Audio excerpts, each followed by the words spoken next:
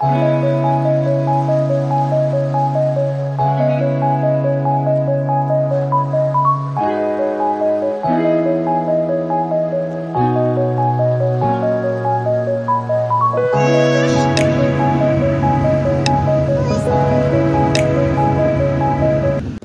अस्सलाम वालेकुम YouTube family कैसे हैं आप सब लोग? उम्मीद है खैरियत से होंगे जहाँ भी होंगे।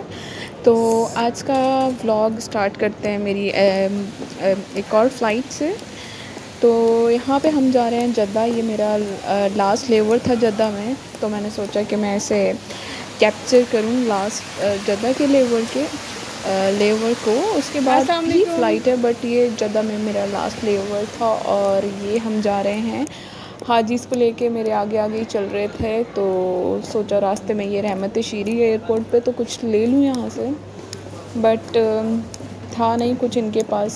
मॉर्निंग का टाइम था तो पंद्रह मिनट लगने थे तो इतना टाइम नहीं था कि मैं पंद्रह मिनट तक मिनट तक यहाँ पे वेट कर सकूँ। तो बस फिर मैं दस पंद्रह मिनट। आगे की तरफ़ मूव कर लिया और और फिर मैं आपको इस फ़्लाइट इस वीडियो में बताऊँगी कि हम लोग कैसे ऑपरेशन जाते हैं। लाइक हमारा एयरपोर्ट जद्दा में डिफरेंट होता है, हमारा एयरपोर्ट नहीं होता। हम, क्योंकि जद्दा इज़ मेन हब तो वहाँ पे जो भी है, हमारा एक सेपरेट ऑपरेशन बना हुआ है। बहुत बड़ा है ह्यूज है।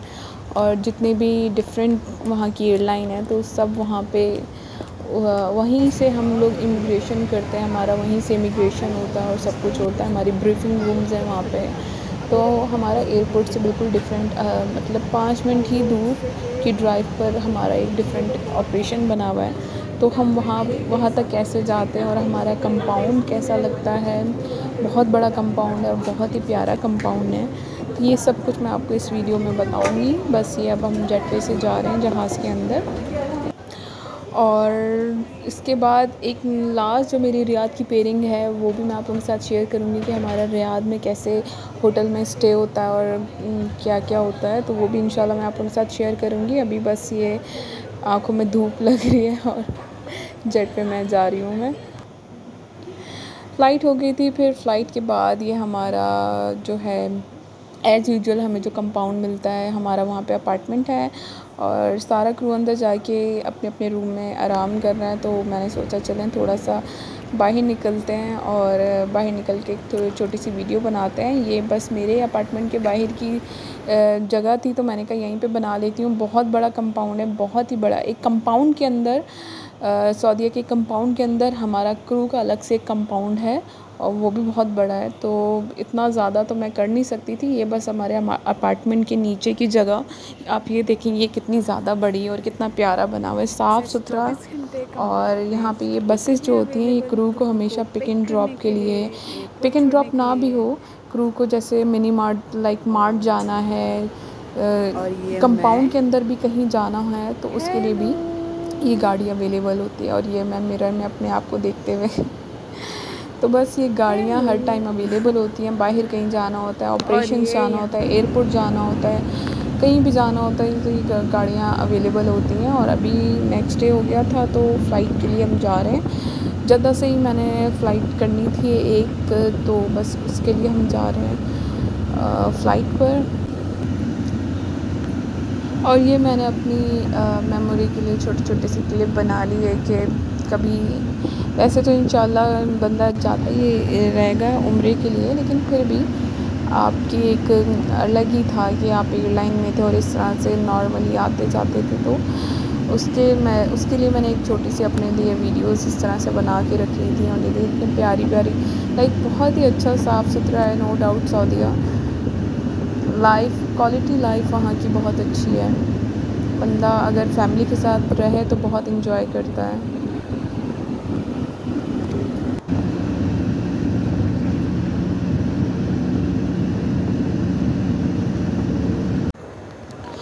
और यहाँ पे हम ऑपरेशन के अंदर आ गए हम वेट कर रहे थे अपने ब्रीफिंग का कि ब्रीफिंग कब होगी स्टार्ट क्योंकि हम टाइम से पहले ही पहुँच गए थे और यहाँ पे दूसरा क्रू भी बैठा हुआ है। डिफरेंट फ़्लाइट्स का क्रू यहाँ पे बैठा हुआ है।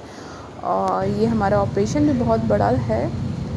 और ये छोटे छोटे से क्लिप बना रही थी मैं तो जहाज़ के अंदर हम लोग आ गए हैं और अब हम यहाँ से जाएँगे अनदर डेस्टिनेशन इन फिर पहुँचेंगे सुबह। पैसेंजर अभी तक नहीं आए तो मैंने कहा चलें एक वीडियो ही बना लेती हूँ जहाज़ के अंदर। और, और ये हूँ मैं। नहीं इधर इधर। नहीं सर कोई बात नहीं। क्या कहते हैं अलीना? हाँ हाँ कर स्टार्ट फॉर दी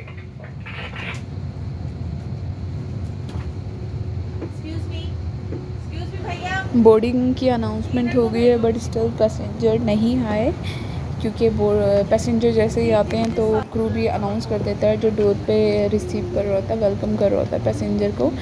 तो वैसे तो अब मोबाइल बिल्कुल भी अलाउ नहीं है, लेकिन सुपरवाइज़र जो कि उसी टाइम गया था तो मैंने जल्दी से मोबाइल निकाल के मैंने कहा, चलो थोड़ी सी वीडियो बना लेते हैं।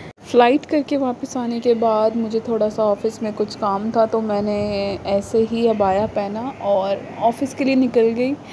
फिर वहाँ से बस छोटा सा एक काम था, कुछ चीज़ें सबमिट करवानी थी वो करवा के तो बस ये मैं गाड़ी का वेट कर रही हूँ और फिर गाड़ी में बैठ के वापस मैं अपने अपार्टमेंट में अपार्टमेंट के लिए जा रही हूँ तो बस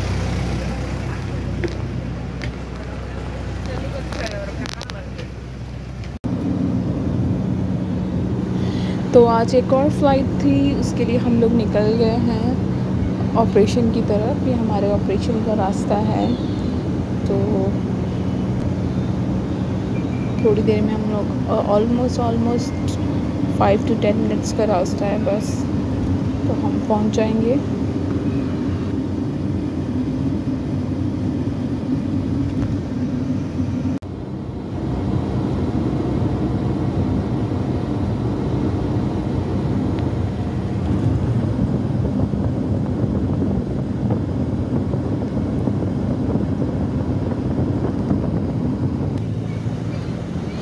और ये सामने हमारा ऑपरेशन जहाँ पे एयरपोर्ट से ये पाँच मिनट की ड्राइव के ड्राइव पर है।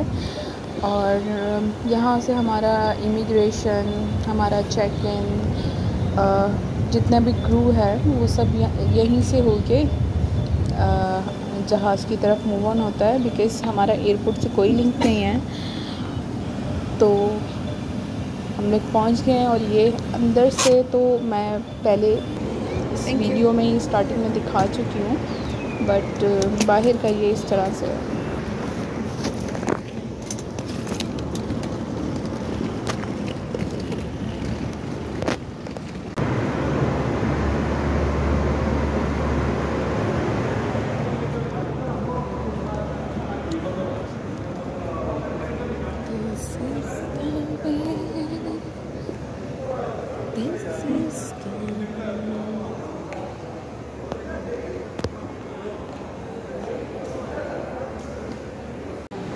तो फ़्लाइट से पहले टी और कॉफ़ी तो बिल्कुल मस्ट है। तो बस वही लेने के लिए और थोड़ा सा सैंडविच वगैरह कुछ खाने के लिए मैं और मेरी फ्रेंड्स आ गए थे हम लोग कैफेटेरिया में।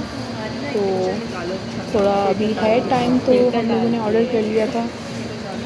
ताकि थोड़ा सा जो है आपका माइंड फ्रेश हो जाए। सुबह सुबह की अर्ली मॉर्निंग की फ़्लाइट में वैसे ही और ये हमारा जो है जैसे पैसेंजर्स नीचे रेस्ट कर रहे होते हैं और हम लोग फ़्लाइट पे काम कर कर कर के जब थक जाते हैं तो ये हमारा छोटा सा रेस्ट एरिया है। ये ऊपर बंक होता है इस तरह से और सब क्रू का पर्सनल बेड और ये इस तरह से पूरा बंक है। आप आ, हम लोग जाते हैं और यहाँ पे जो भी हमारा जितना भी रेस्ट पीरियड होता है तो हम यहाँ पे आराम से लेट के ये कर्टन ड्रॉ करके आराम से लेट के पर्सनली जो भी आप चिल करते हैं, आराम करते हैं ऊपर तो इस तरह से मेरा हो गया था रेस्ट कंप्लीट तो मैं जा रही हूँ वापस नीचे और ये पिलोज़ और ब्लैंकेट सब अवेलेबल होता है।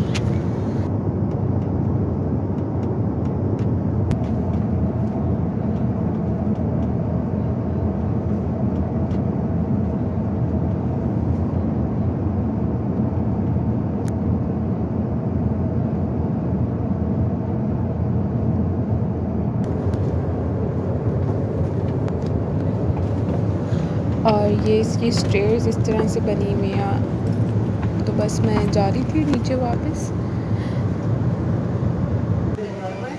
और फ़्लाइट ख़त्म होने के बाद मैं कुछ खाने के लिए लेने आई खाने और पानी वगैरह। मार्ट में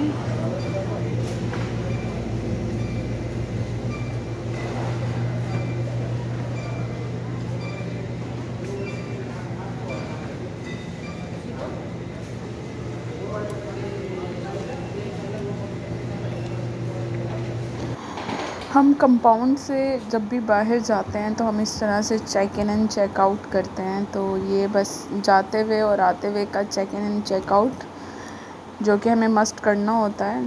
तो बस वो कर लिया था और ये मेरा लास्ट फ्लेवर आखिरी दिन था जो मैं वापस जा रही हूँ अब कराची। तो बस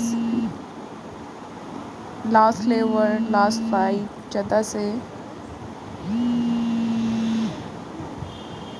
ओबियसली ये जद्दा कंपाउंड मैं बहुत मिस करूँगी।